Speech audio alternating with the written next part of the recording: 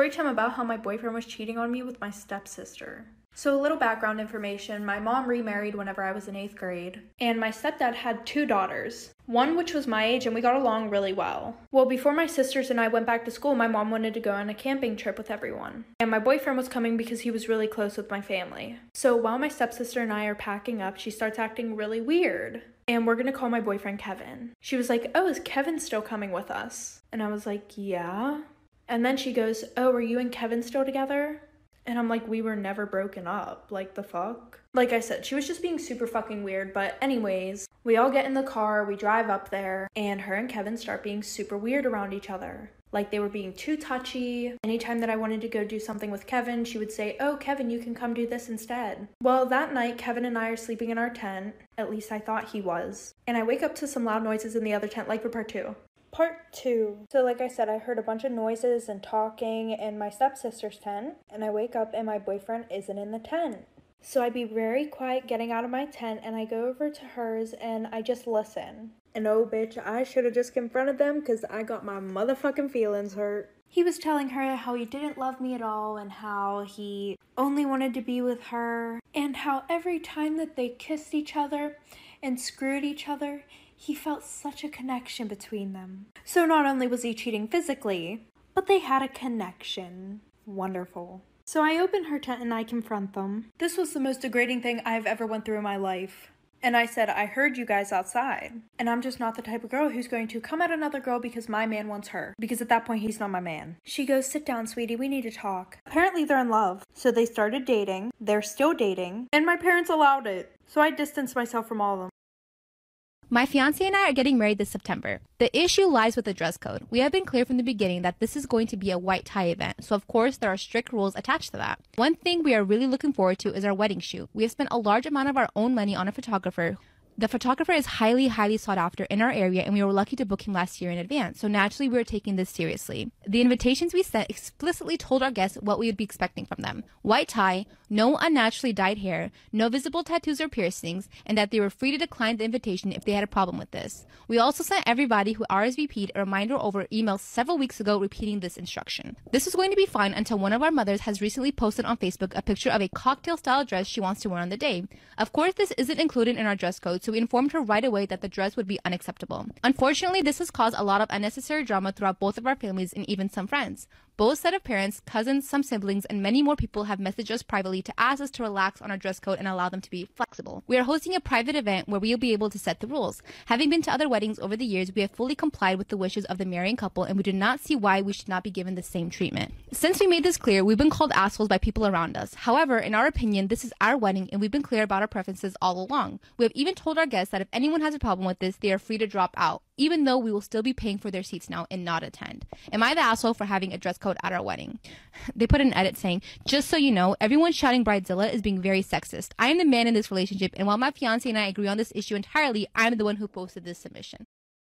Story time. My boyfriend cheated on me with my best friend. So, my boyfriend and I have been dating for two years, but we were on and off all the time. It was a super toxic relationship. Like, he would try to get with other girls, and I would try to get with other guys to make him jealous, blah, blah, blah. Well, a week before Christmas, him and I broke up again. And I had my best friend sleep over that whole week because her parents were in Ireland. And my boyfriend lived right down the street from me, like it was probably a two minute walk to his house. Well, for the first three nights, my best friend would go on a jog every night and she would be gone for like two hours. I would literally have to go unlock the door at one in the morning for her to get back in my house. Well, I think the third night that she slept over, she came back in different clothes. And I realized that the sweatshirt she was wearing was my boyfriend's favorite sweatshirt. But I didn't really think anything of it because she never really showed interest in my boyfriend. But clearly I was oblivious, anyways. So that same night, I wake up in the middle of the night and she's on the phone with someone. And it sounded exactly like my boyfriend. So I asked her who it was, but she couldn't give me an answer, like for part two. Part two of how my boyfriend cheated on me with my best friend. So she told me not to worry about it, and I was like, all right, whatever. So the next day, my boyfriend shows up at my house asking to get back together. Not a surprise, by the way. And of course, I said, okay, we can be back together, blah, blah, blah. So that night, while I'm in my room, my best friend's on the phone, and she has her AirPods in, so I couldn't hear who it was. And she was like, okay, I'll be there in five minutes. And when I asked her where she was going, she wouldn't tell me.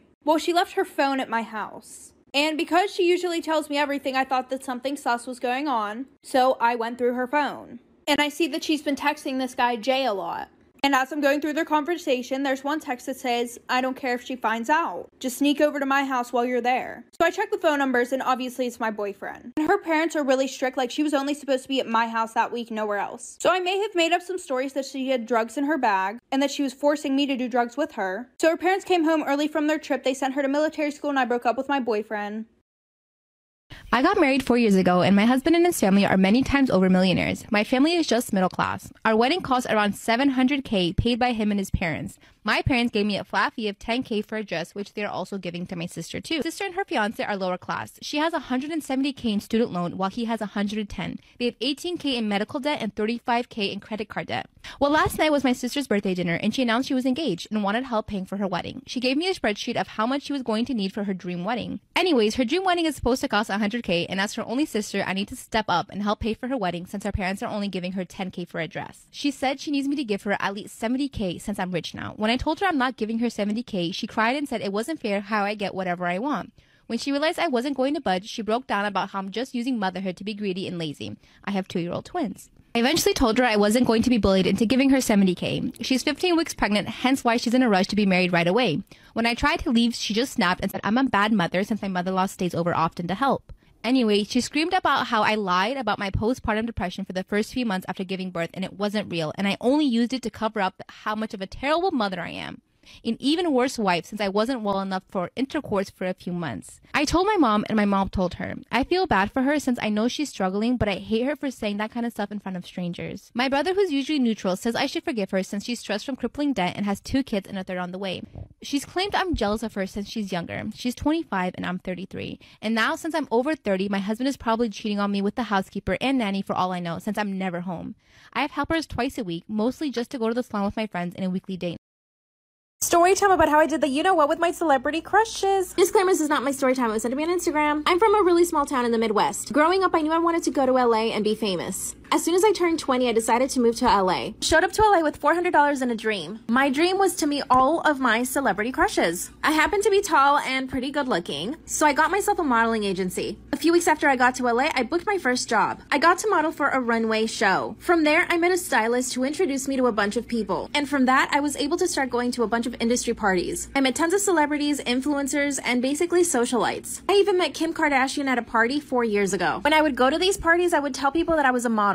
But in order to prove that, I had to have a pretty big following on Instagram. So I took all of my savings that I had and I bought myself 100,000 followers on Instagram. With those 100,000 followers, I was able to get verified. And after that, I started DMing as many celebrities as I could, especially my celebrity crushes. And no, I won't say who they are. After a few weeks, I still didn't have the responses that I wanted, aka from my celebrity crushes, but I started getting some responses from other celebrities. Not as famous or good looking, but still people that could definitely help me get to them. Basically, my life consisted of going to castings, go-sees, and going to photo shoots. I also started doing music videos, and this is when it really got interesting. I started meeting tons of rappers and started getting invited to bigger and bigger parties, like really exclusive parties. The kind where you couldn't take your phone in, and the kind where you had to sign an NDA to make sure that you couldn't say anything about what you saw at the party. My Instagram was also growing really quickly. I went from 100,000 followers to 150,000 within a few months. I even became really good friends with some celebrities that worked on TV shows, like the kind of TV shows that you guys see on Netflix. I felt like I was getting closer and closer to my dream, but still, I never met my celebrity crushes at any of those parties. One morning, I wake up to a few DMs on my Instagram, and it was one of my celebrity crushes. I basically sent him a message saying, Hey, I'm in town, I'd love to take you out for a drink. And he replied with a yes. Nothing else, just a yes. I quickly replied and asked him if he wanted to go for a drink that night. He agreed to meeting up at a bar on Sunset Boulevard. I want you guys to understand something though. I was looking for a boyfriend, not just a one night, you know. So I wore my cutest outfit, nothing sexy. I basically looked like a Chanel model from the 1950s. As soon as he saw me, he told me that I was beautiful and we got to talking. Everything was going really, really great. After that, you know what happened. But here's the thing. I messaged him on Instagram the next day and he didn't reply. He didn't even ask me for my phone number. I got really sad, but the next day I opened up my DMs to another celebrity crush. Part two is up. Part two of how I did it with my celebrity crushes. So after I had my date with my biggest celebrity crush ever, he never called me back. But the very next day, I wake up to a DM from another celebrity crush. Now, I didn't think this one would respond because he was in a relationship at the time. No, I'm not going to say who it is. Disclaimer, this is not my story time. It was sent to me on Instagram. He was super nice over DM and asked me if I wanted to go have lunch. I said yes, of course. We decided to have lunch on the weekend. Throughout the week, he would message me and ask me how I was, but two days before the meeting, he totally ghosted me. I didn't hear back from him at all. So the day before the date, I texted him. Him.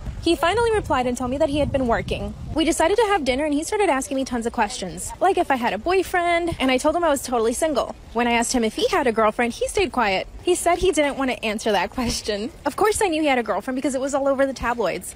Like there were tons of paparazzi pictures of them together. But here's the thing we had a fancy dinner. Then he asked me if I want to go back to his place. Of course, I said yes. And when I get there, I see pictures of him with his girlfriend, the one he didn't want to talk about before. I then go to the bathroom, open the cabinets, and it's full of girl stuff. I quickly realized that he took me to his girlfriend's place to, you know what? I mean, maybe they had an open relationship, but at the same time, like, why would he take me to his girlfriend's place? But I kept my goal in mind. We finally, you know what? And then afterward, he asked me if I wanted to sleep over. That's when I told him no because I knew that we were in his girlfriend's place. He starts laughing and tells me that she's out of town and that she'll never find out that he took me there. I asked him how many girls he's taken there before, and once again, he said he didn't want to answer the question. He then hit me up every single day for like a month. I didn't know if I should see him again because of the whole girlfriend thing, but then I got another DM. Part three is up. Part three about how I did it with my celebrity crushes. Clear, this is not my story time. I was setting me on Instagram. So finally, my third celebrity crush DMs me back. No, I'm not to say who it was, but he's pretty famous. He actually invited me over to his place for dinner. He ordered some takeout and we watched a movie. We finally got down to it. Hey, you know what? And it was really bad. And the worst part is, afterward, he asked me if it was good. Of course, I lied and said, yes, it was great. The look of relief on his face was apparent. How could he be so insecure being so famous and so attractive? I didn't get it. I actually did go out with him two more times, but I kind of got bored of him. Remember the second celebrity I told you about in part two?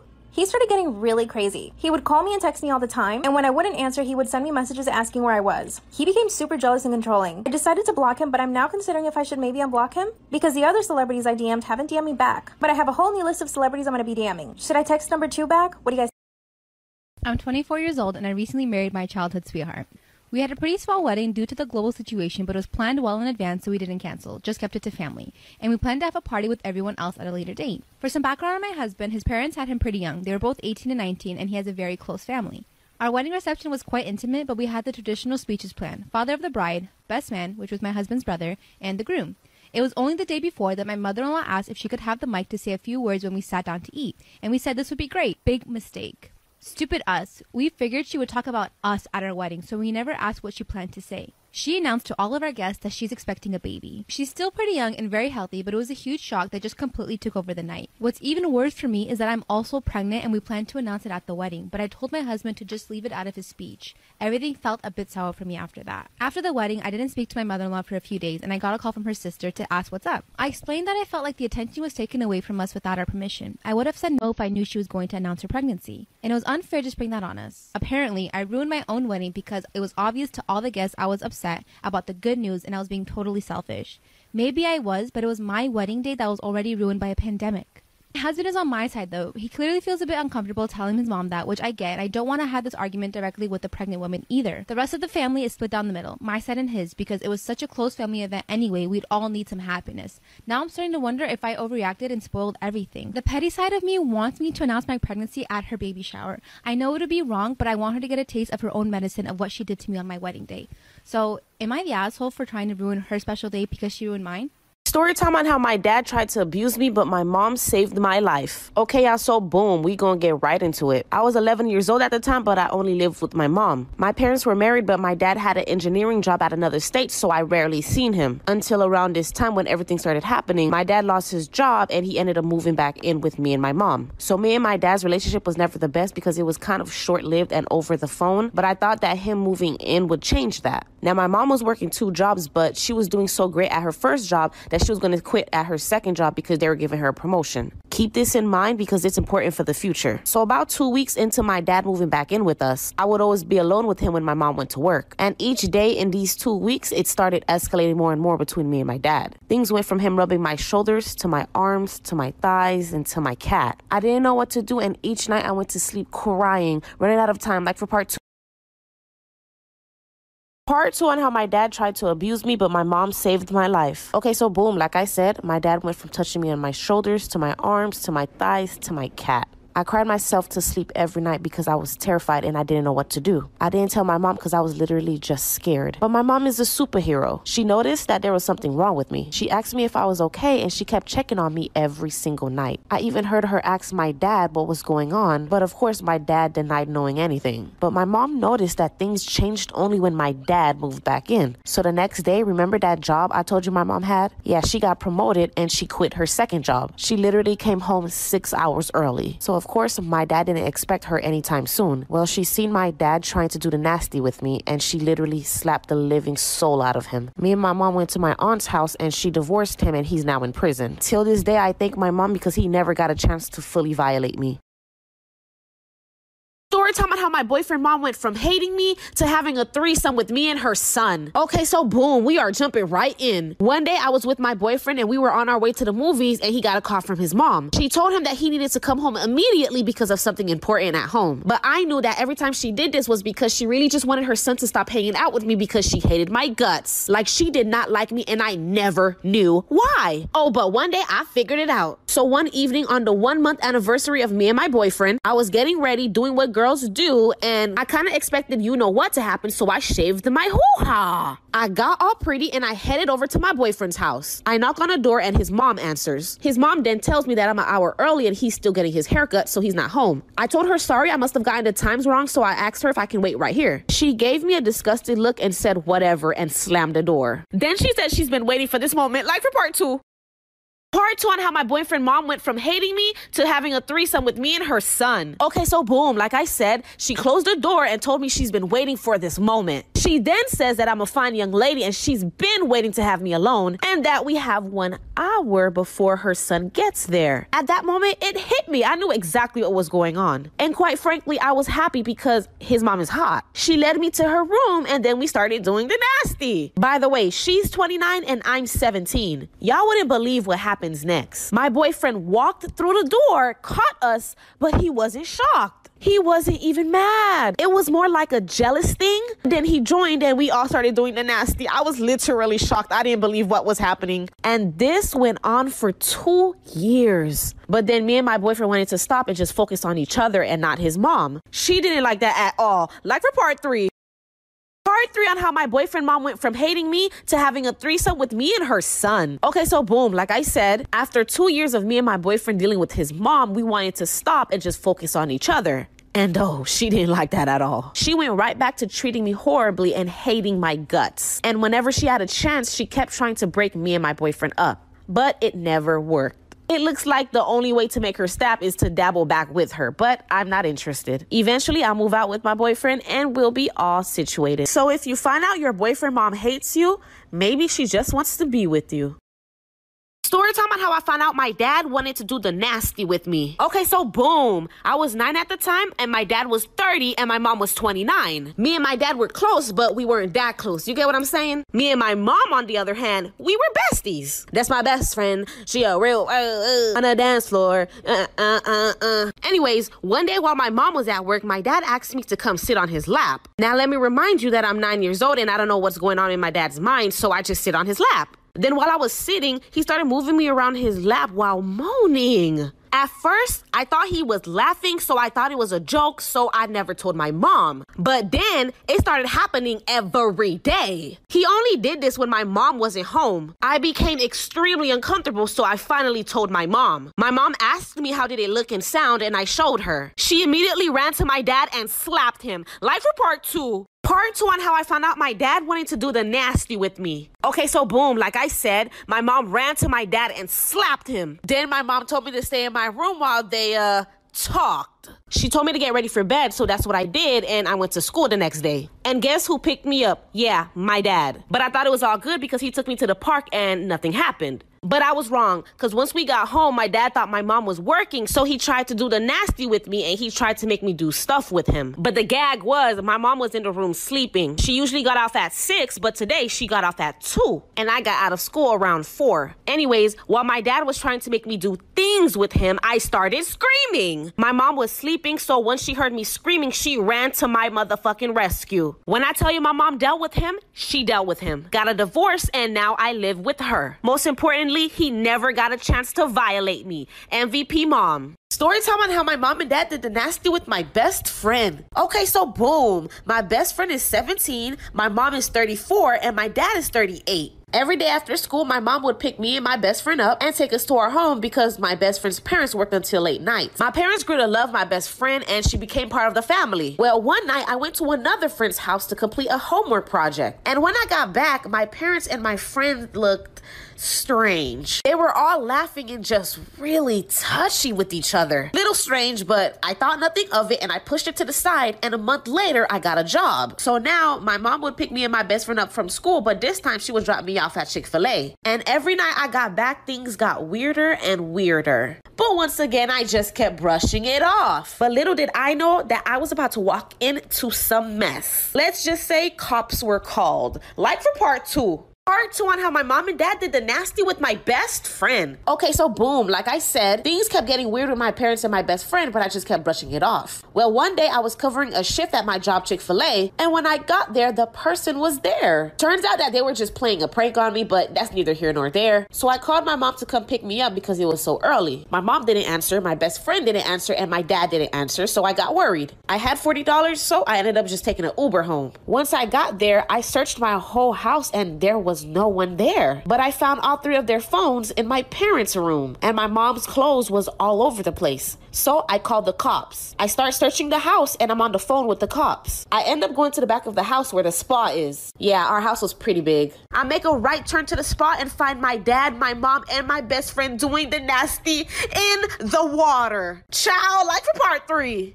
Part three on how my mom and dad did the nasty with my best friend. Okay, so boom, like I said, I make a right turn to the spa and I found my mom, my dad, and my best friend doing the nasty in the water. I literally screamed so hard and the cops asked me if I was okay. Then I said, sorry, there's no missing person, but there is underage nastiness going on. The police immediately came, arrested them, and they pressed charges. All three of those people I call my mom, dad, and best friend tried to apologize apologized to me, but I definitely did not accept that. And I ended up moving into my granny's home.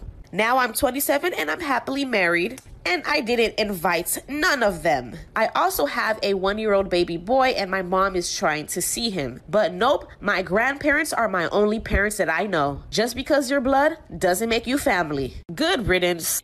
Story time on how my Uber driver tried to kidnap me on my birthday. Okay, y'all, so today's story is my own. And thank you guys for 1 million followers. All right, y'all, let's get into it. Okay, so boom. About two years ago in 2019, I lived by myself in my own apartment. At this time, I was at the end of my lease and I was actually moving to another apartment. I had to do everything by myself because I had nobody to help me, so I had to go get a U-Haul truck. This was my first time using Uber because I have my own car. But to get to U-Haul, I had to Uber over there so I could get the truck and then go from apartment to apartment. My first Uber driver bringing me to the U-Haul truck was fine. I had no issues with him and it was pretty normal and fast. So once I was done with the U-Haul truck and I was done moving, I had to return the truck to its location. And then I had to Uber back to my apartment where my car was. Now this second Uber driver, this is where the issue comes in. Y'all, it was literally crazy. My life was at stake. Life for part two, part two on how my Uber driver tried to kidnap me on my birthday. Okay, so boom, like I said, I returned my U-Haul truck and I waited for my Uber driver to come pick me up. When my Uber driver came to pick me up, right from the beginning, I knew something was off about him. Always trust your instincts. He was a little weird and off, but I told myself that it's only a 10 minute drive and it will be over soon. So I sat on the back of the car and I just stayed on my phone. You know, minding my business. And then the guy just started talking to me like I guess he was trying to have small talk. But the weird thing is, I couldn't understand what he was saying. And I got footage, you guys. Listen to this.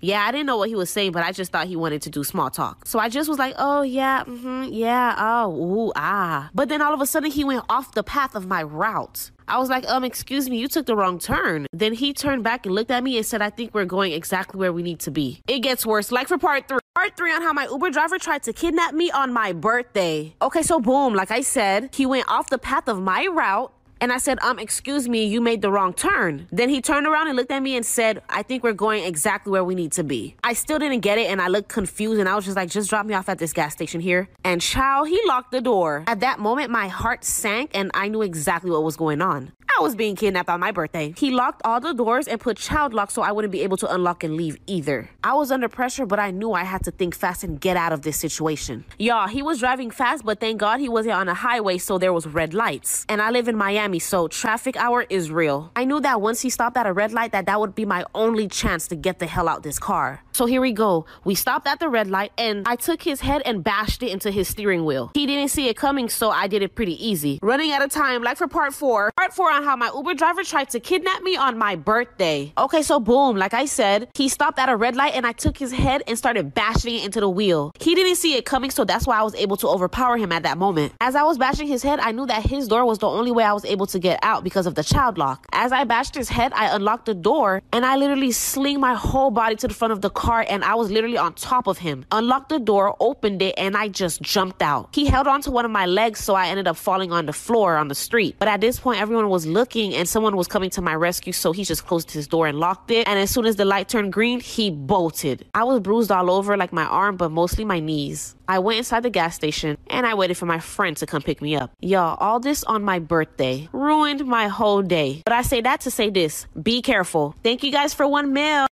Story time on how my boyfriend married my mom and got her pregnant. It's giving stepdaddy, it's giving betrayal. Anyways, so boom. I was 17 at the time, my boyfriend was 20, and my mom was 35. So me and my boyfriend were together for two years, but it was very rocky because he couldn't keep his third leg in his pants. I would go to my mom for advice, but she was always on his side. You know that one family member or friend you go to for advice, and instead of hearing you out, they say, What did you do? Yeah, that was my mom. I would be like, Hey, mom, George cheated on me. Let's call him George. And she would say, Well, honey, what did you do to cause George to cheat on you? Like, what?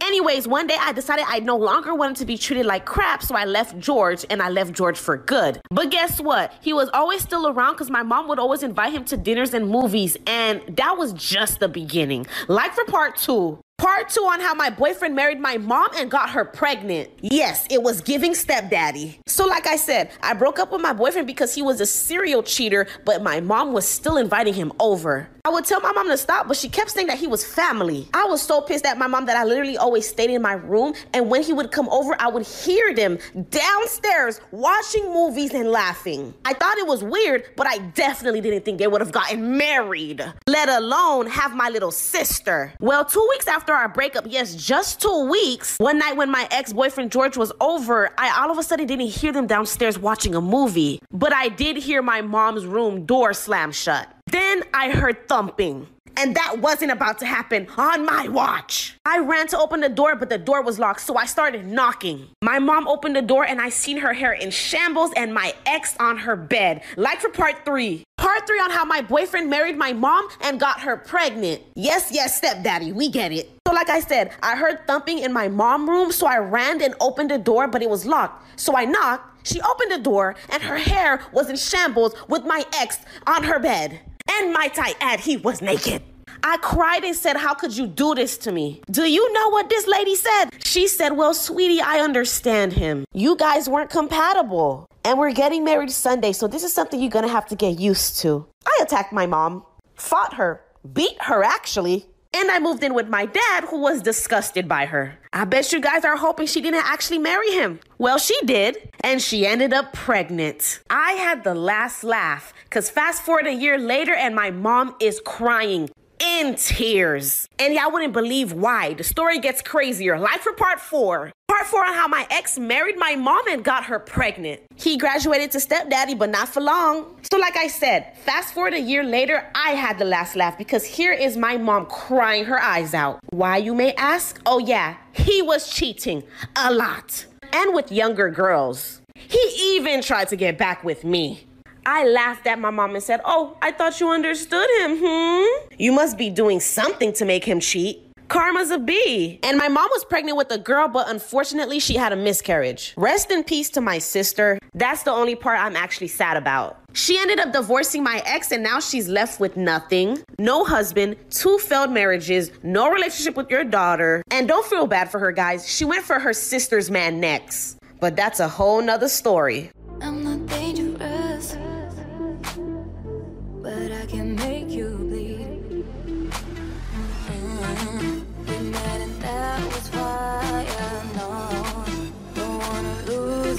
love.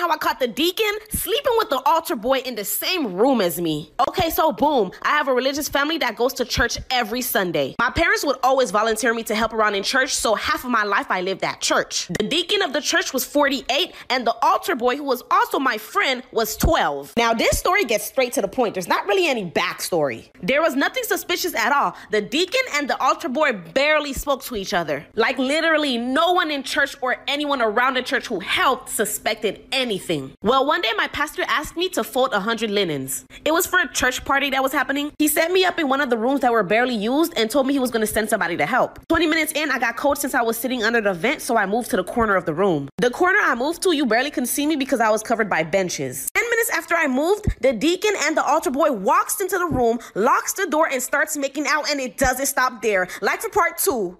Part two on how I caught the deacon sleeping with the altar boy in the same room as me. Like I said, I was in a corner peacefully folding my linen until the deacon and the altar boy walks in. They didn't see me and they start making out. All of a sudden, pants are being taken off, booties are being grabbed, and people are being bent over. And if you're asking if they, you know, yeah, yeah, they did.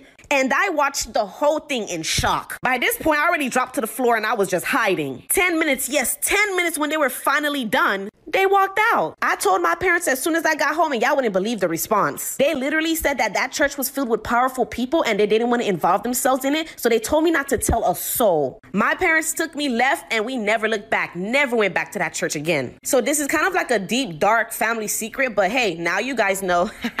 Story time on how I was almost kidnapped. Okay, you guys, so today's story is my own. Let's get into it. Okay, so boom. I was in the ninth grade when this happened, and my brother was in the 12th. We always took a bus to the bus stop that was five minutes away from our house, and we walked the rest of the way home. I had super strict parents, so I didn't have a cell phone. This detail comes into play later on. So on this particular day, our routine changed. My brother had to complete some community service hours, so we were going to separate. I was gonna go home, and my brother was gonna go the opposite direction to the daycare that was also five minutes away from the bus stop. The bus dropped us off, and before my brother walked away, he told me to be careful. And I was like, yeah, yeah, thinking this was going to be a regular walk home. But I was definitely wrong about that. About three minutes into me walking, when my brother was no longer in sight, a car slowly pulls up next to me and puts his window down, like for part two. Part two on how I was almost kidnapped. Okay, so I'm walking home alone and my brother is no longer in sight and the streets are kind of empty. A car slowly pulls up next to me and a guy puts his window down. A man who looks like he's in his 40s yells out,